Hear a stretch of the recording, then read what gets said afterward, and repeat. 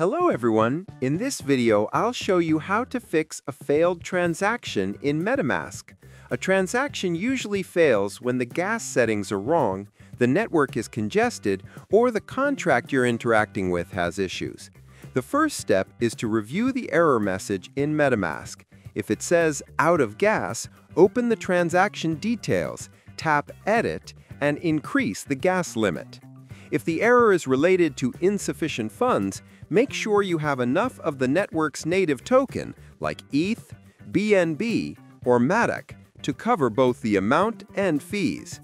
Sometimes the problem is with the network itself. Try switching to a different RPC endpoint under your network settings, or wait until congestion eases. If the contract address might be wrong or unsafe, double-check that you're interacting with the correct verified contract. Once you've adjusted the settings, try resubmitting the transaction. Most of the time, increasing gas and confirming you have the right balance solves it. And that's how you fix failed transactions in MetaMask. Subscribe the channel for more videos.